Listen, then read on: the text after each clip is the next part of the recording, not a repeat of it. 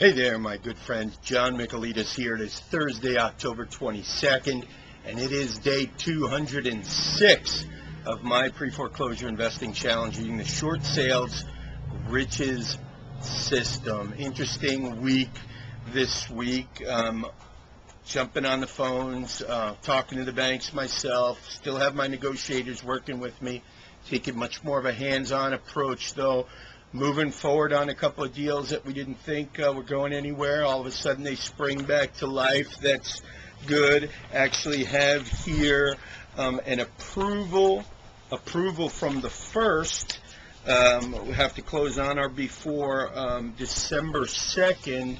Uh, still don't have approval from the second uh, mortgage, and the second mortgage is Bank of America, and we're having trouble even getting them to respond to us.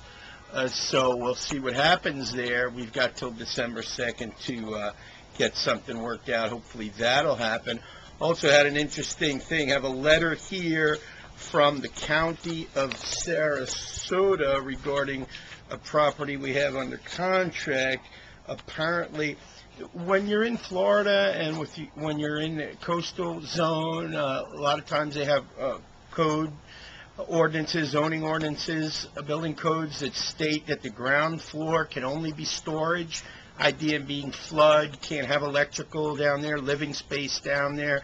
Um, so anyway, we we get this letter saying uh, that uh, the downstairs of this property is uh, not up to code. Uh, the bathroom and the living area and the wet bar and the washer dryer in the bedroom have to be removed to bring it up to code. Well, the funny thing is, the current owners bought it that way. Nobody ever disclosed to them it wasn't up to code. It never came up.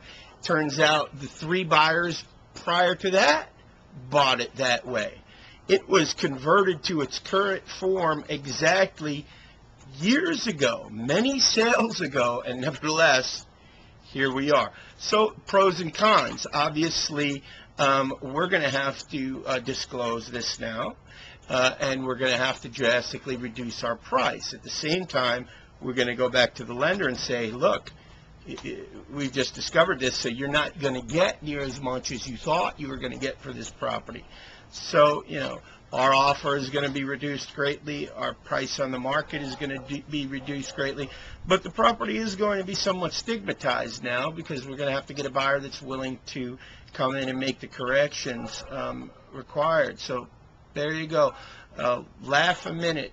Uh, another thing had had um, uh, this one uh, wholesale buyer, if you will, put contracts on two of our properties about three four weeks ago and they're supposed to have their um, earnest money in within the next day.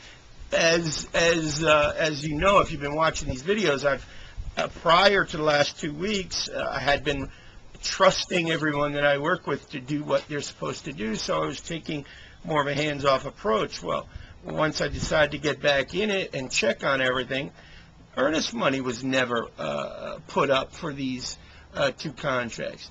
And this we discovered last Friday. So uh, they said Friday they dropped it off. They didn't. They said Monday they dropped it off. They didn't. They said Tuesday they dropped it off. They didn't. They actually lied and said they did things that they didn't do, not to mention the fact, how do you forget you were supposed to deposit earnest money a month ago? Uh, finally, I just told my uh, agent, uh, we're done. We're done. We're canceling the contracts, put them back on the market. Obviously, the real estate agent doesn't like that, uh, feels that we're throwing away a good prospective uh, buyer. Um, and my uh, my thought was, how could you say that? We've got someone that didn't put the earnest money in on two different properties when they said they were going to. They told you they had dropped it off last week when they didn't. They told you they had dropped it off yesterday, which they didn't. How is it that you trust them to come to closing? Interesting, I mentioned closing. My attorney said, oh, yeah, I had a closing with those guys a month ago. It was a cash deal, small property, uh, less than $100,000 cash. I had to beg them to come to the closing table with the cash. They wouldn't come. They wouldn't bring the money. So when I heard that, I said, whoa, these guys are dilly-dallying with the earnest money. They're saying they delivered it when they didn't. They don't bring money to closing when they're supposed to. And with our back-to-back closings, we we close on that first deal. The second buyer better be there, and we can't trust these guys. So I killed the deals. Uh, my my realtor is all, of course, upset because he he thinks just because you have a piece of paper with someone's signature on it, that means you have a viable deal. Well, any of us who've been in the business any length of time know that it's only a piece of paper unless the people backing that piece of paper are trustworthy. And these people have proven themselves satisfactorily enough to me not to be trustworthy. So uh, I'm not doing business with them, and that's just that. Put it back on the market, get two two more buyers in place, and uh, move on. So that's it. Hope you're having a fantastic week. I am, and I will talk to you next week. Bye bye.